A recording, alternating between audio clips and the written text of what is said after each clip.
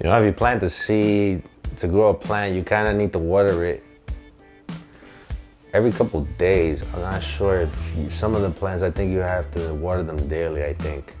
Mm.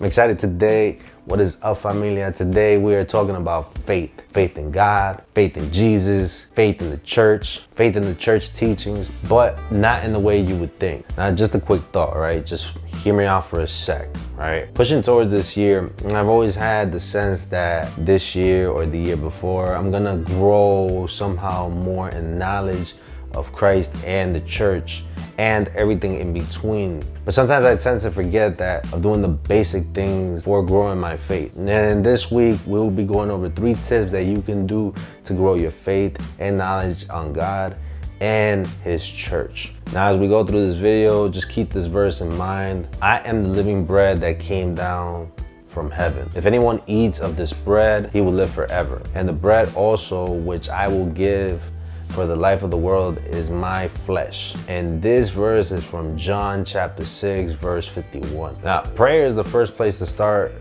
when taking this journey of growth and learning. Now, how do we put this in practice? When I say practice? Yeah, we talk about practice, bro.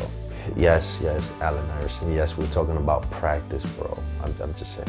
Now, you can follow and do it the same way or do it a different way, but the whole point here is to pray.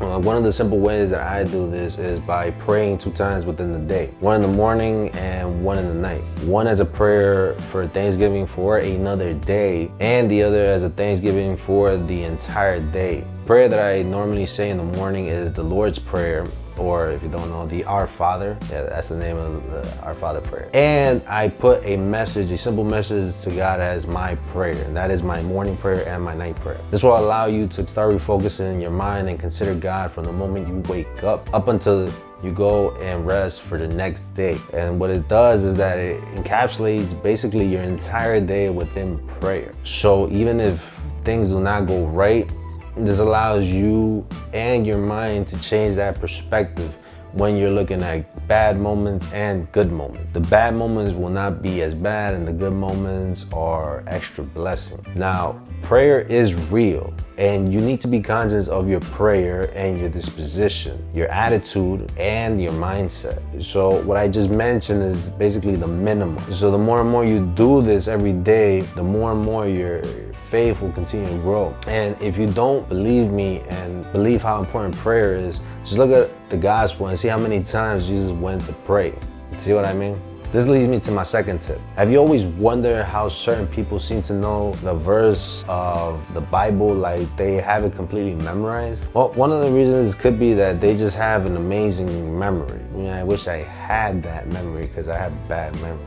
And the other reason is that they just read the Bible. Yeah, they just read it bro. There's no tricks, there's no shortcuts. It's just straight time and dedication. They just dedicated, they say, I'm gonna read this, and that's what they're gonna do. Now, for this, I recommend you start with one of the books in the New Testament, and you start from there and you go on. So I'll give you an example. So if you start at Matthew's gospel, right? You read a chapter starting today, then tomorrow you're gonna read chapter two, chapter three, and then so forth. And this will take you somewhere from 10 to 15 minutes at a minimum, depending on how fast you read. And here's another tip in regards to this second tip. If you feel inspired or confused or it does not make any sense or after reading one of the verses within the chapter, okay, not the entire cha chapter, I'm talking about just one verse. Make sure you write that verse down. If you want to write the entire verse out, do it. Write it in a journal. This will keep track of what you have read and it will be more helpful for you to go back and reference. Reading the gospel not only allows you to understand our faith more,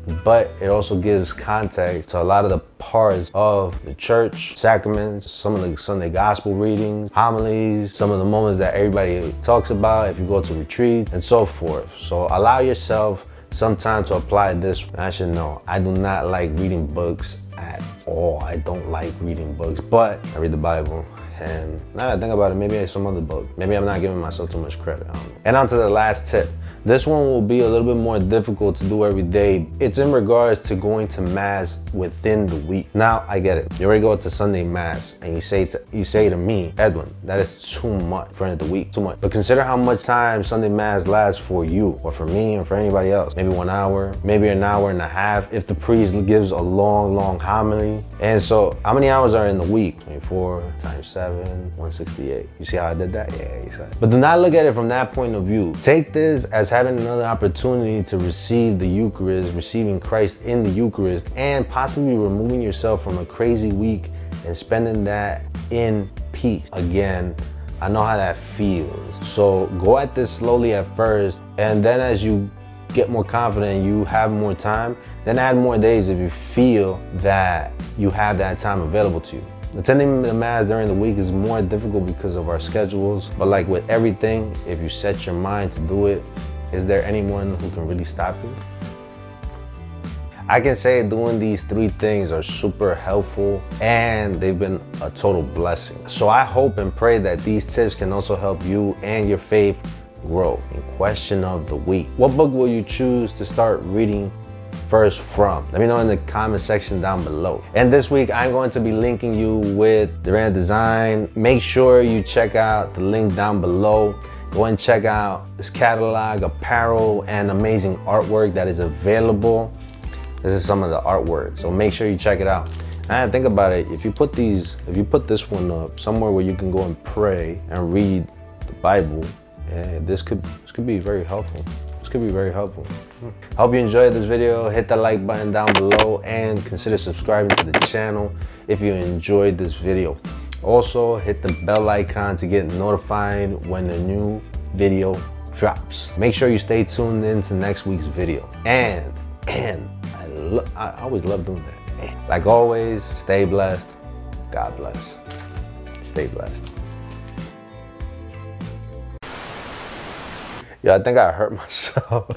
I, I, went to the I went to the gym and I think I did the exercise the wrong way, and now this up here hurts. Your neck. My neck. No, not my neck. Not my traps. My traps. Not my neck. Not my neck. My neck don't hurt. Yeah, I need that. I need that. It's kind of a bittersweet moment. I sent them my first gimbal back.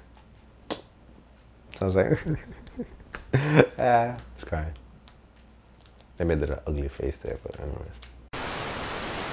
Yo, his production, his quality is amazing, man. Peter McKinnon, yo. If we ever get to that type of quality, oh.